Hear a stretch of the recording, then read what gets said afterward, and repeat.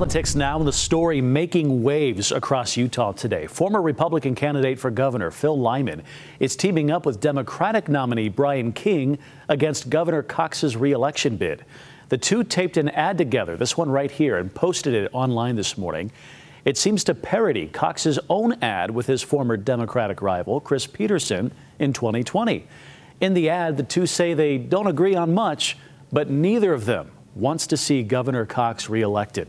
Now, we spoke with Brian King and Phil Lyman on the ad, and here's what they told us.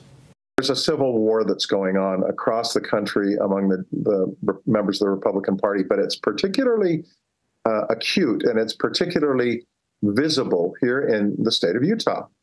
And you see it with the Lyman supporters and voters uh, in their primary and in their convention.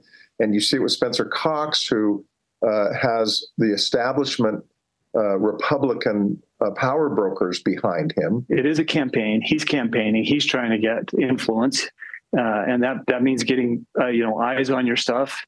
Uh, I'm also running a campaign. That means influence for me. Um, getting eyes on my stuff. I love getting out of the echo chamber, which is hard to do on social media. Well, this comes on the heels of Lyman losing his Supreme Court appeal to remove the governor from office and announcing that he plans to run as a write in candidate. Utah Republican Party leaders have spoken against that campaign, and today the party chairman, Robert Axson, condemned the ad. I absolutely think that this will provide a small uh, benefit to uh, Brian King and his candidacy for governor.